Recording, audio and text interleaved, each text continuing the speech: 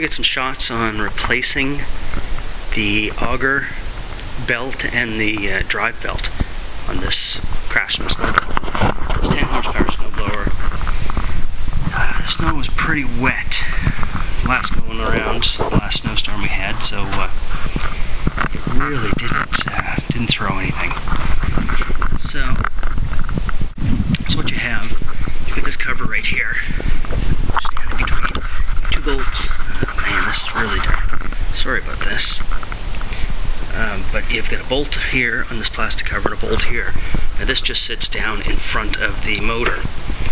Uh, there's a bolt on the other side as well, which we're going to take out.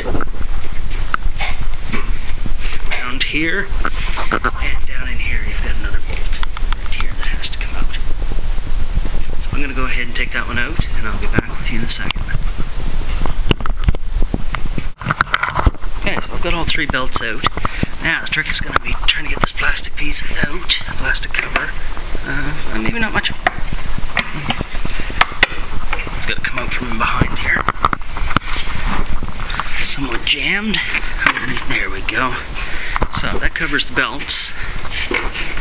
Can't see very well, but um, yeah, the belts are not doing too well here. Must have been slipping here a bit. So, next part, I've got to get loosen some of the tension on these. This one here is no, no tension on it. The other one does have it, so loosen that off and see if I can take them off from the top. Then I have to go down underneath. I have to flip this thing up on the front. So uh, I'll flip it up on its front and take the belts out from underneath.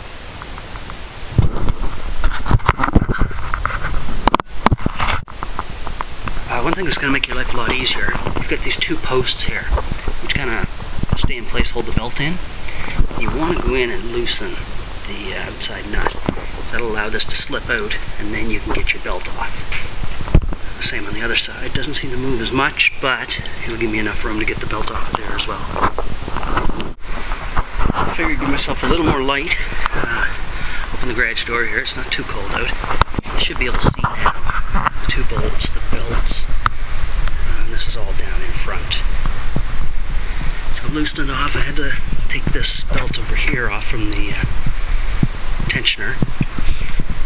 And I would suggest if you're going to do this, replace both both belts. You don't want to go in here twice. So I've got an A37, and this other one should be an A38. We'll see what happens here in a second.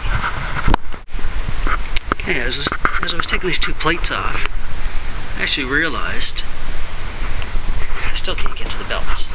What you have to do is actually split the thing in half. So there's a bolt here,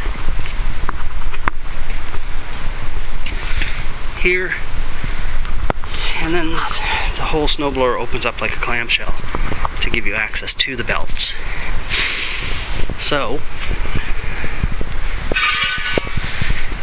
I guess it was nice to see how these come off, but didn't have to do it. You see on the bottom here, there's a bolt here, I'm missing a nut on this side, but it actually pivots on these when it opens up. So, I'm going to put it back down on its feet, uh, back down on its feet, and uh, split it in half. So here we go. I'm going to take this one here off, um, which again will allow me to tilt this. So this part here will fold this way, this part here will fold that way. Give you full access to these. Probably get a better view now of the belts. These things here will actually come right off. Uh, the other one vibrated off on me, so I'm going to have to get that back in place. Um, but I'll crack it open now. There you go. As you take those two bolts out, one on each side, the thing opens right up. Belts are easy to get to. This is the one here that I have to replace, but since I have it opened, may as well do this one as well.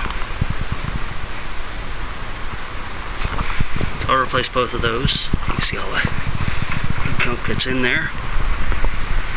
So I'll get those out of there, and we'll button her back up. Okay, I've got the belts back on here.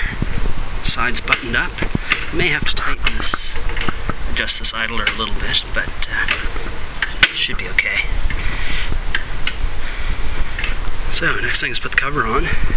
Remember, don't take the bottom or the back off. No need to. Just these two bolts, clamshell opens up, take these arms out, makes your life a lot easier. Uh, and then give it a test. So I'm going to put the bottom and the back on there and uh, I'll give it a try in a minute. Okay, everything's back together. So, just an overview.